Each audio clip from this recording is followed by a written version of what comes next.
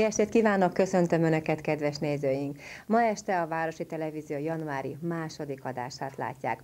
Először esti mesét vetítünk a gyerekeknek, majd következik híradó műsorunk. Most gyertek, kedves gyerekek, következik a Mézga család legújabb kalandja.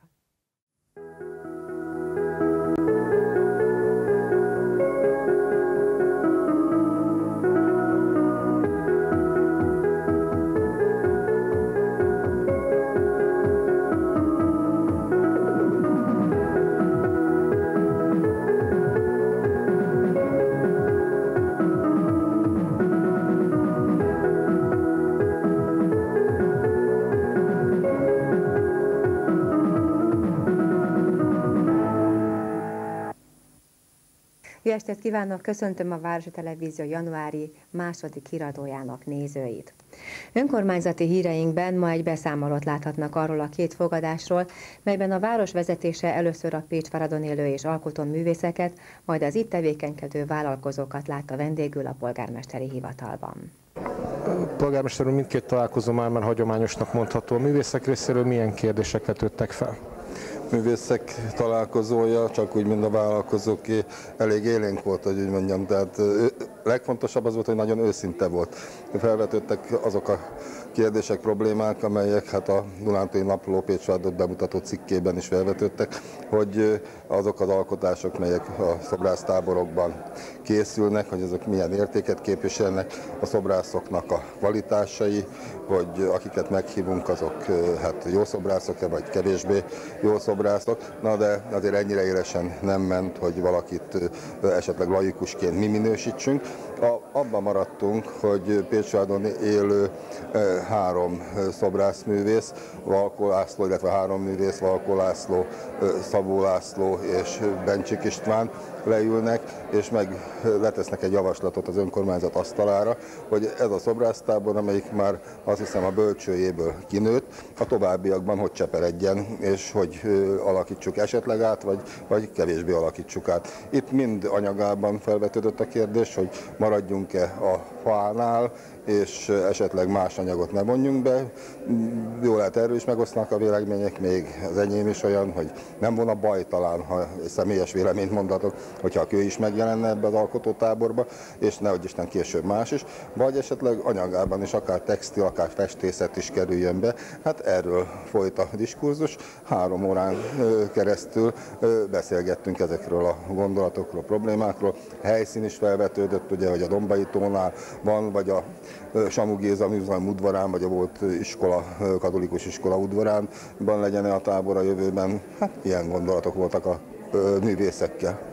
Itt az udvarban még található néhány szobor, ezek a tavaly alkotott tábor munkái. Ezeket ezek szerint már a, a felállítandó úgymond zsűri elképzelés alapján fogjátok majd elhelyezni? Igen, hát itt két technikai ok miatt csúszik a minősítése. Egyszer az időjárás szólt bele novemberbe, aztán egy később időpontban egy másik esemény.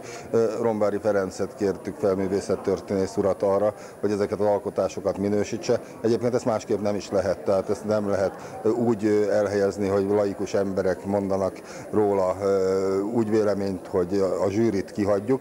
Lehet laikus bizottság, vagy kevésbé hozzáértő bizottság, hogy ne ezt a szót használjam, hogy laikus, hiszen Pécsvádon van egy ilyen bizottság, amelyik tesz javaslatot arra, hogy ezek az alkotások hol kerüljenek elhelyezésre.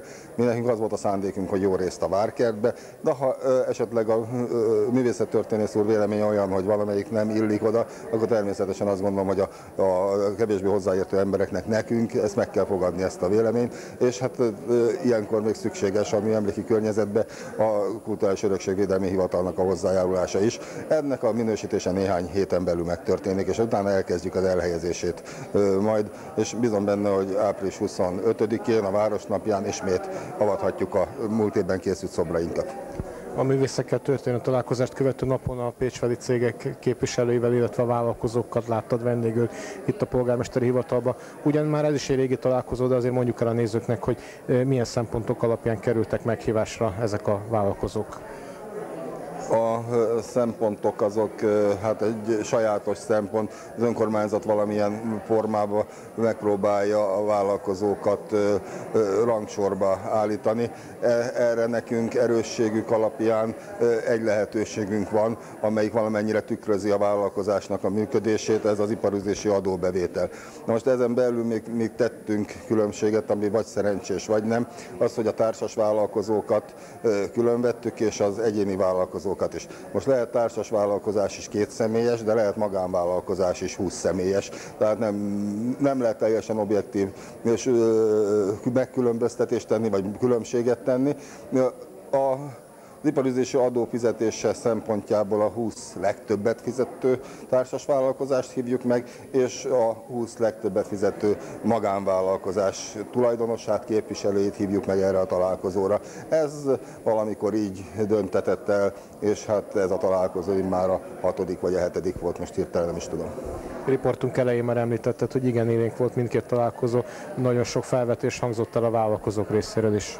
Igen, hát anélkül, hogy rangsorolják, rangsorolnák azokat a gondolatokat, hát hogy történik egy ilyen találkozó, hadd ismertesse meg azokkal a kedves nézőkkel, akik nem vesznek részt rajta.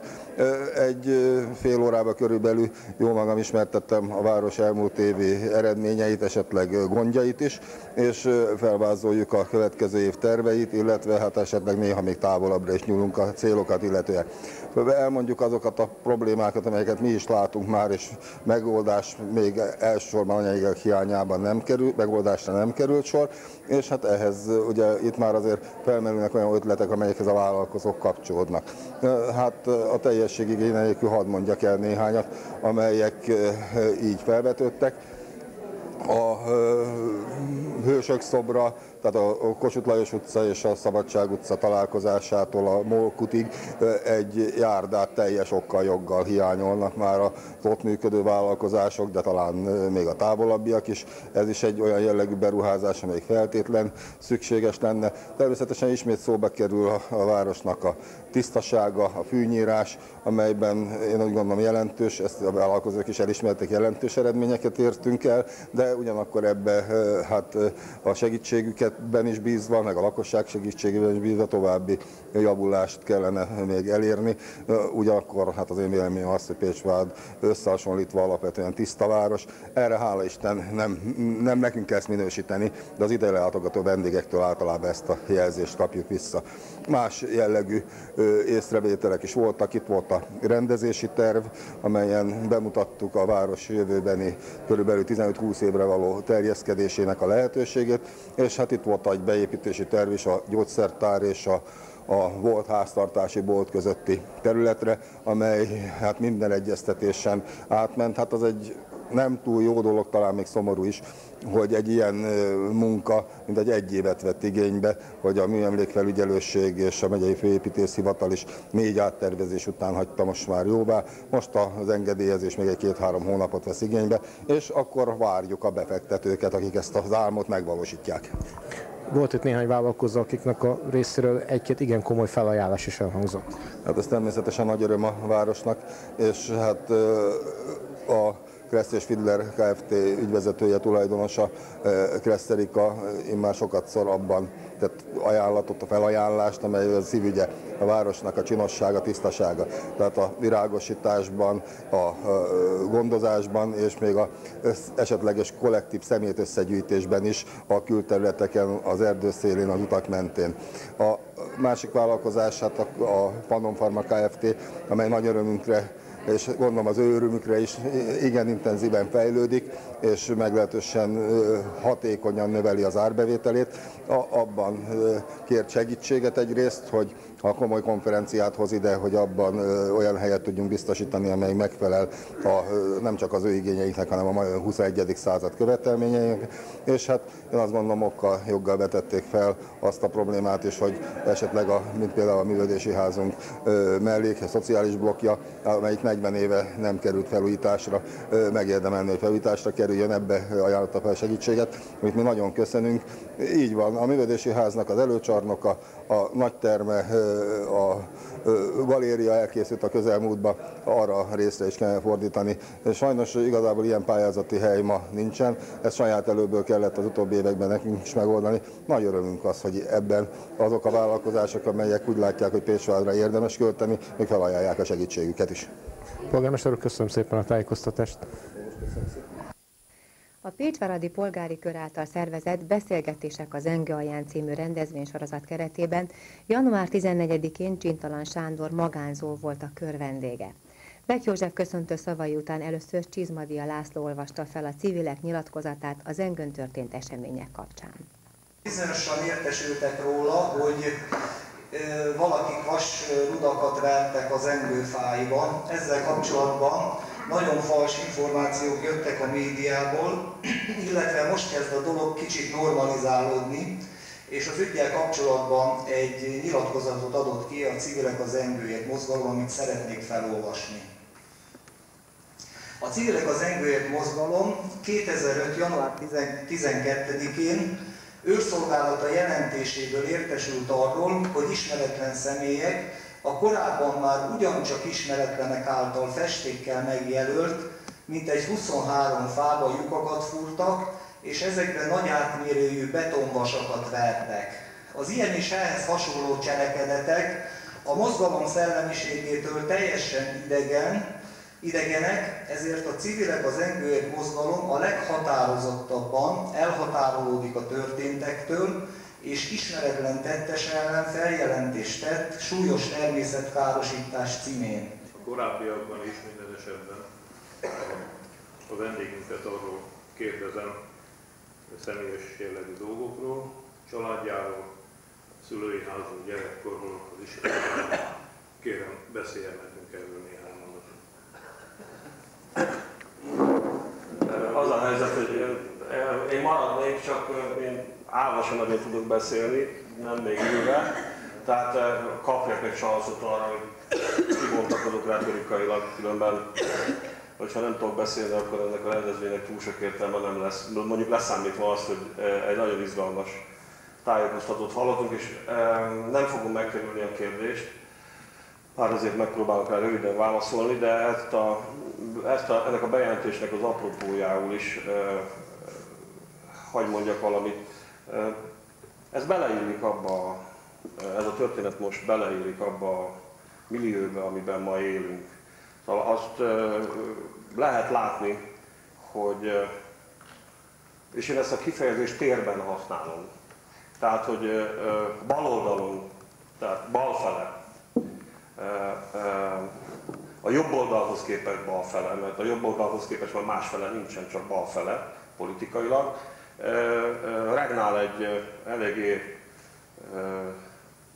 most már, hát azt is mondhatnám, hogy elszemtelenedő agresszivitásban, egy olyan, egy olyan, egy olyan szervezet, egy olyan érdekcsoport, ami hát egyrészt elfoglalta a baloldalt, mert azért azt higgyék el nekem, hogy gondolom a családból is tudják, meg a rokonságból, meg az ismerősi körükből is, hogy azért van néhány tízezer, vagy néhány százezer tisztességes baloldali ember is, és nem azok csinálják ezeket, amiket itt most itt sorolunk, hanem hát azok az emberek, azok az érdekcsoportok, azok a hatalmasságok, eh, akik ezt a, a politikai térfének ezt a felét elfoglalták, és a szörnyű ebben az, hogy nap mint nap ilyen eseményekkel találkozunk, és teljesen nyilvánvaló, hogy egy ilyen eh, eh, akciót, és azért vagyok egy kicsit el is képedve, mert én is néztem tegnap a híradót, meg sok minden mást, és azért, ha, ha, ha visszagondolok mondjuk a 80-as évek végére vagy a 90-es évek elejére, amikor ez a rendszerváltás a nyilvánosságban olyan élénken működött, úgy, úgy elképzelem, hogy mondjuk 80-as évek végén vagy a 90-es évek elején ennek milyen sajtója lett volna.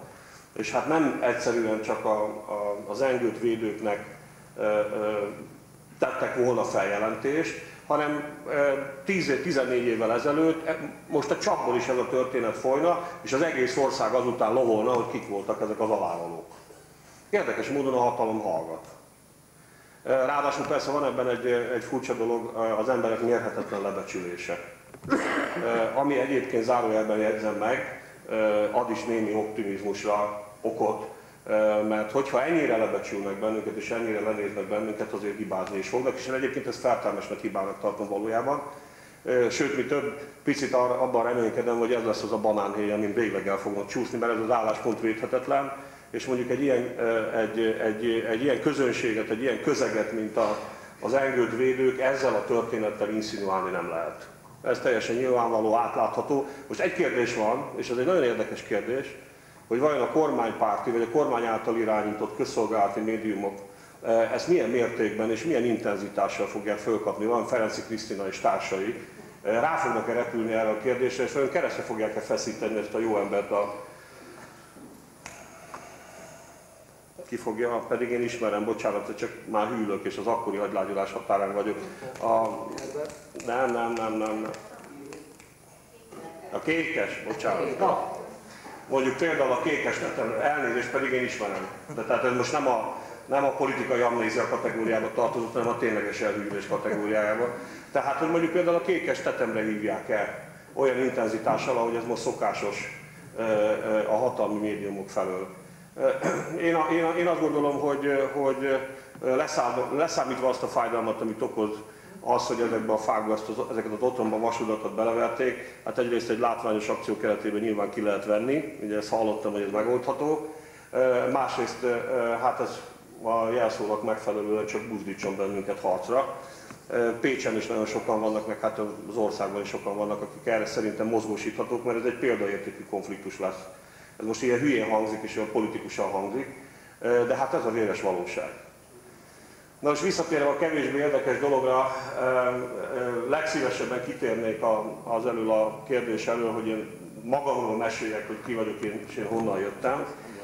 Annál is inkább, mert én az egyik nagy problémának azt tartom a magyar politikában, a közönség és a politikusok viszonyában, hogy jellemzően még mindig annak alapján ítélik az embereket, amiket mesélnek magukról. Sőt, mi több ennek újabban divatja van.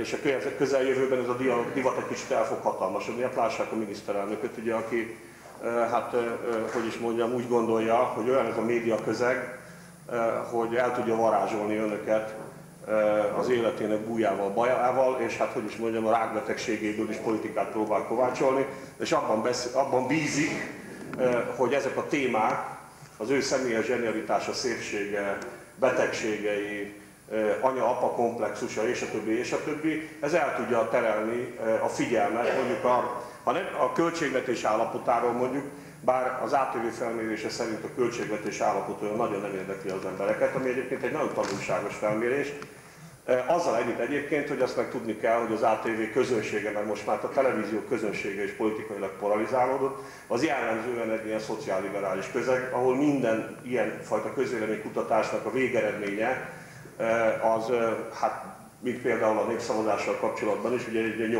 80-20%-os nem volt. Tehát az a közönség, akikre ők számítanak, és akit ők meg akarnak dolgozni, az egy olyan közönség, amelyik hát finoman szólva nem érdeklődik az ország ügyei iránt, és leginkább Majkát Szabolcsot és Gyurcsány Ferencet szeretné szemlélni a maga totalitásával. Na de viszont miután az én helyzetem elég speciális, én nem térhetek ki az elől a kérdés elől, hogy ki vagyok és én honnan jöttem, legalábbis a saját válaszom szerint egy dolog mindenképpen ö, ö, hozzátartozik a dologhoz. Hát ez, ez pedig az, hogy én nem állíthatom magamról, hogy az előző rendszerben, diákkoromban vagy gyerekkoromban politikailag vagy egyéb módon meghurcoltak volna. Én éltem magam kamasz életét a, mondjuk a középiskolában, például a Berzsegy Nája gimnáziumban, egy rendkívül jó iskola volt. Őszintén szólva ebből az egész dologból sok nem, nem jelent ott meg, és aki mondjuk Ratkó generáció béli, annak csak úgy, a, azt úgy csak úgy emlékeztetném arra, hogy, hogy ugye nekünk 1968 diákkorunkban hát nem csak a prágai bevonulást jelentette, hanem párizsi diáklázadásokat is. Tehát a, a, a, a mi korosztályunk, vagy a mi ébredésünk, vagy sokunk ébredése egy, egy, egy elég érdekes kettőség közepette zajlott le.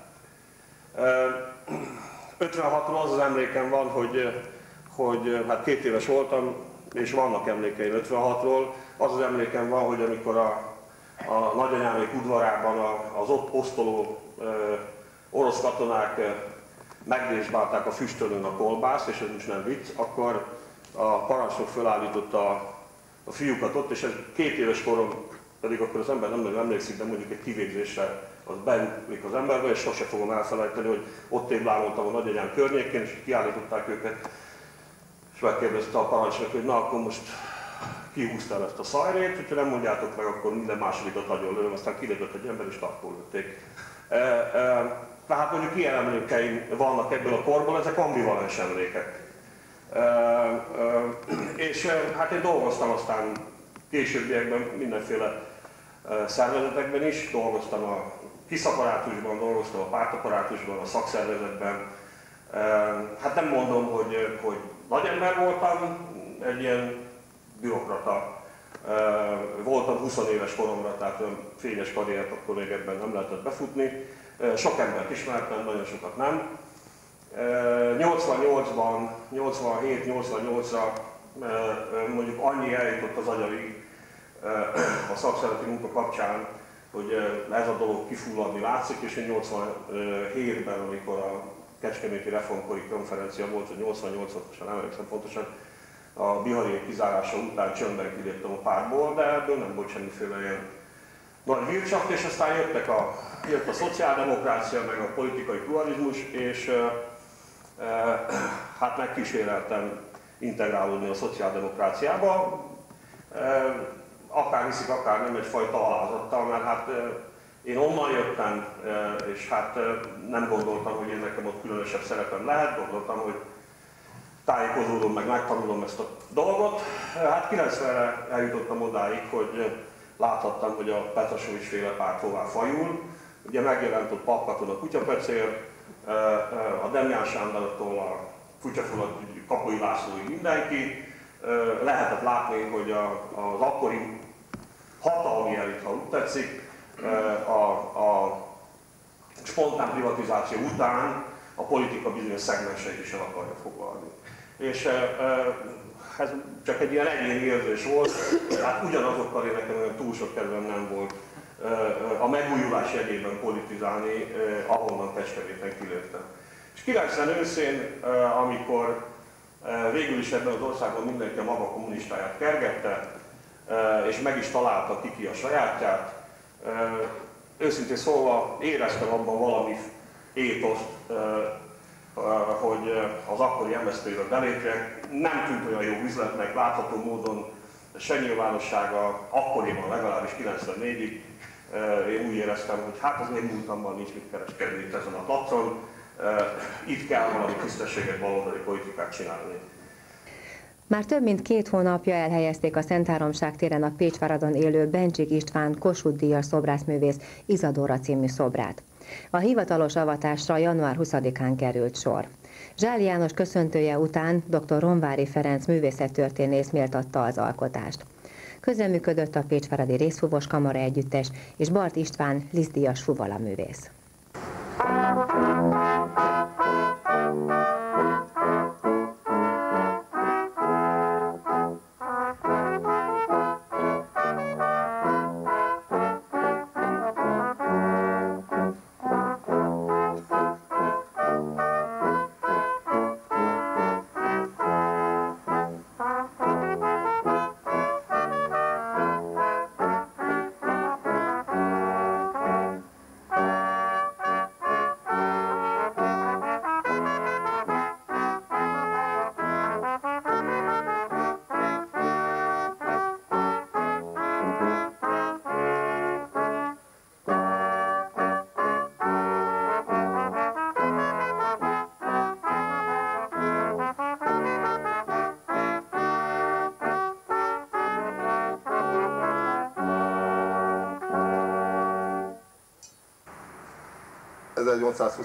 Ban ebben az időben nem tudom, hogy mit motiválta Kölcsei Ferencet, hogy befejezze a himnuszt, de valószínű talán a tél is közrejátszhatott. Talán ez lehetett az oka annak, hogy 1989-ben a Magyarországgyűlés január 22-ét a Kultúra napjának nyilvánította, méltó napra tette, hiszen nemzeti himnuszunk alkotójának, nemzeti himnuszunk születésének évfordulójára került ez a nap. Azt hiszem, Pécsvád a kultúra terén mindig megteszi a ránézve kötelező feladatokat. Így volt ez az elmúlt évtizedekben is, így, van az el, így történik ez az elmúlt években is.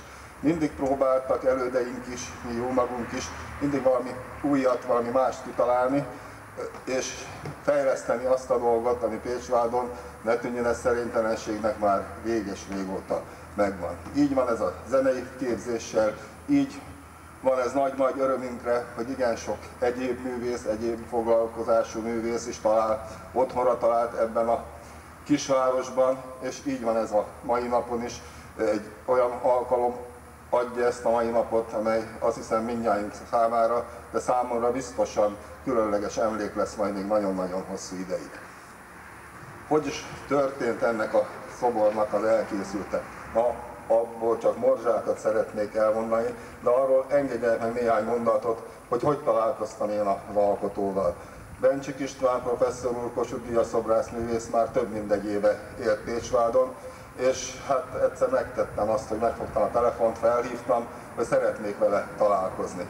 És ő nagyon nagy örömmel és készséggel adott ennek a találkozónak lehetőséget. Azóta már nagyon sokszor találkoztunk, és a találkozás alkalmával beszélgettünk arról, hogy hogy lehetne itt tovább tenni még Pécsváron dolgokat.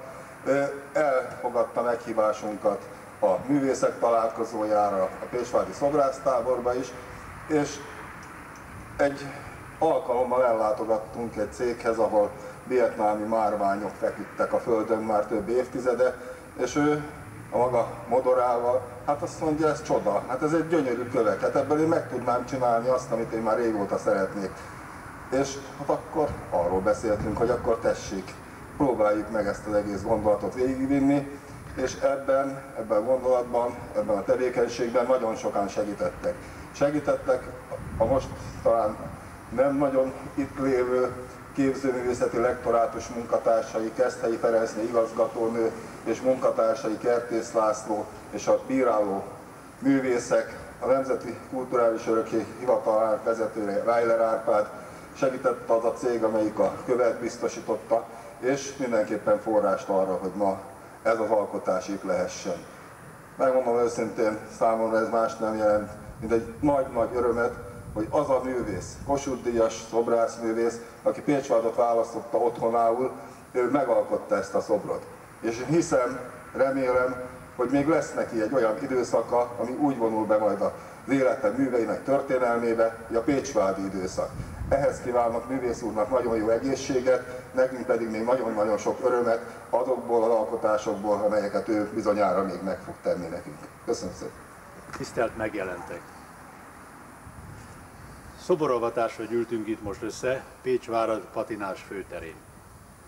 Háttérben a tér uralkodó épülete, a város egyik jelképe, a Pécsi Gianone Ágoston által 1857-ben emelt neogótikus városháza, melyet már az 1860-ban kiadott Hunfalvi féle Magyarország és Erdély című kötet Róbok is, mint országos nevezetességet örökített meg tér ismételt névadója, mely sokak emlékezete szerint a közelmúltban még felszabadulás térnek neveztetett, Szent Háromság emlék azonban már akkor is itt állt, Sárkányölő Szent Györgyel, aki egyben a város védőszentje, a gyógyító és védőszentekkel, Sebestyénnel, Rókussal és Vendellel, és 1816 óta uralja a teret. Egy főtér a polgári lét legfőbb szintere. Itt zajlottak a fontosabb történések. 1956-ban például tragikus események szintere volt. A mecseki láthatatlanok és a rendőrös között kialakult tűzpárbajban a helyszínen életét vesztette Habling László rendőrszakaszvezető, és később előérzett Bálicsottó Pécsi bányász, a fegyveres mecseki ellenálló. A véres eseményekre ma már csak egy emléktábla utal. Korábban a Hablingé, a rendszerváltás óta Málicsé. Az egyébként békés teret nyáron árnyas volt kesztenyefák teszik, meghitten hangulatossá.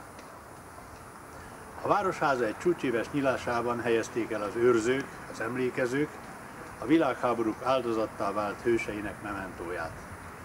De itt kapott emléktáblát a Pécsváradi Önkéntes Tűzoltó és Önsegélyző Egyesület, valamint Hegedűs Imre, Pécsvárad 1848-49-es országgyűlési követje.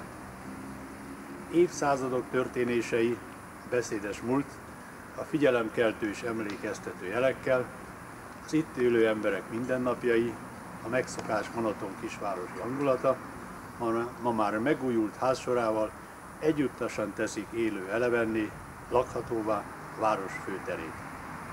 Mindenkor letette itt a kézjegyét. Történelmi hangulatot árasztó tér válfelő sarkán áll a monumentum, az immáron Pécsvárad illetőségű Kossuth Díjas Bencsik István szobrászművész alkotása. Szokatlan a szobor, sokakban tán ez is felmerül, és szokatlan maga az elhelyezés. Igen, szokatlan. És mindkét megközelítés egyszerre igaz. De 2005-öt írunk, mögöttünk a hihetetlenül nagy változások kora. A 20. század egyebek mellett természetszerűleg a művészetek forradalmát is magával hozta. A kor kihívásait az alkotó, a teremtő és nem csak reprodukáló művészek színe java felvállalta. És most térjünk a tárgyra. Bencsik István is vállalta a kor kihívásait. A legalsó sorból küzdötte fel magát. Regényes történet az övé, de mindez már a múlté. Egy beteljesedett életmű hitelesítette az ifjúként csak körvonalakban elképzelt, mindössze vágyakban megfogalmazott kezdeti nagy akarást.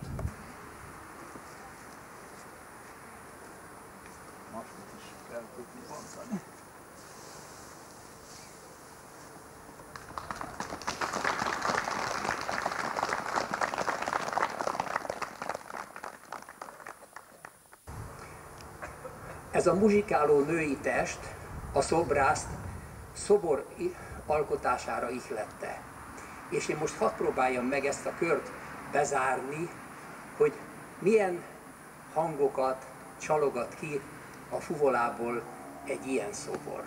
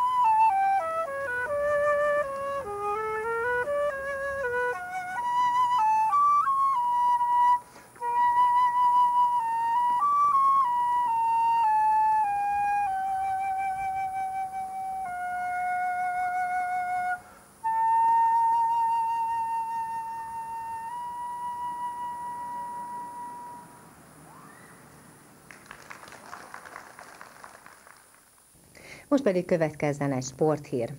Aranycipó kupa néven utánpótlás saktornát rendeztek a művelődési házban. A Pécsvaradi versenyzők teljesítményét Lantos Levente szakosztályvezető értékelte kameránk előtt. A Pécsvaradi sakkéletnek egyik fénypontja minden évben az Aranycipó kupa. Idén a hatodik alkalommal rendeztük meg. Ez a 2004-2005-ös Baranyi megyei ifjúsági bajnokság negyedik fordulója volt. 60 fővel rendeztük meg ezt a versenyt, idén a Művelődési Ház nagy termében. Ki a kiemelhető Pécsváradi személyisége ennek a versenynek, vagy voltak olyanok, akik nagyon kiemelkedtek itt a fiatalok közül? A legjobb Pécsváradi e- eredményt Böröc István érte el az ötödik korcsoportos bronzérmével. Ő nyerte el a a legjobb Pécsváradinak felajánlott külön díjat is. Többiek, ki tudná még valakit emelni? Sajnos a többiek lényegesen rosszabbul szerepeltek, ez talán betudható annak is, hogy nagyon erős volt a mezőny, főleg az ötödik korcsoportban, a legidősebbeknél. Következő forduló mikor lesz, és ott milyen esélyek várhatóak? Február közepén Szent Lőrinc rendezi meg következő fordulót. Mindenképpen érmekkel szeretnénk hazatérni onnan is. Híradónk végén kérem nézzenek meg egy tudósítást a most kezdődő báli szezon első rendezvényéről. Január 22-én került sor az immár hagyományos vábára, ezúttal is Adószegi Attila szervezésében. A jó hangulatról ismét a Pilisvörösvári Bravi Boám zenekar, a finom falatokról pedig a szervező gondoskodott. A műsorban közreműködtek Wagner József és barátai. Thank you.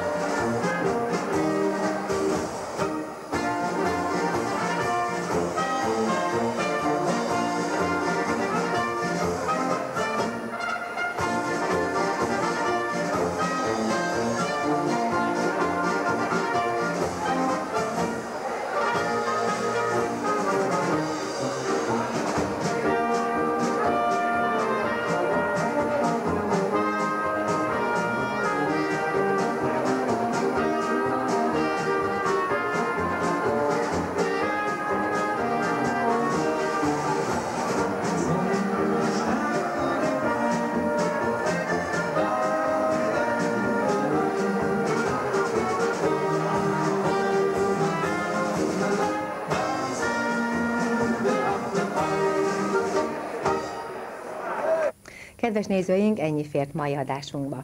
A csütörtöki adásunk ismétlését holnap ugyanebben az időpontban láthatják. Legközelebb két hét múlva, február 10-én jelentkezünk. Terveink szerint ekkor beszámolunk az önkormányzat január 31. üléséről, bemutatjuk az új ifjúsági referenst és folytatjuk báli összefoglalónkat. Kérem tartsanak akkor is velünk, én munkatársaim nevében is megköszönöm figyelmüket, viszontlátásra!